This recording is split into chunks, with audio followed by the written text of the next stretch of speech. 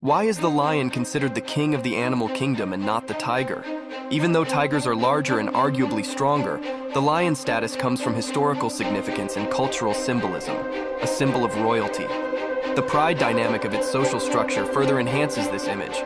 Its mane, associated with strength and nobility, distinguishes it. Loud roars assert its dominance.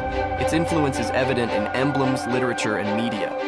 Recent findings on intelligence add depth to this discussion. So, despite the tiger being larger, the lion's historical, cultural, and behavioral aspects make it the king of the animal kingdom. But what do you think? Does size matter, or is it about something more? If you've enjoyed this knowledge feast, hit like subscribe and share your thoughts.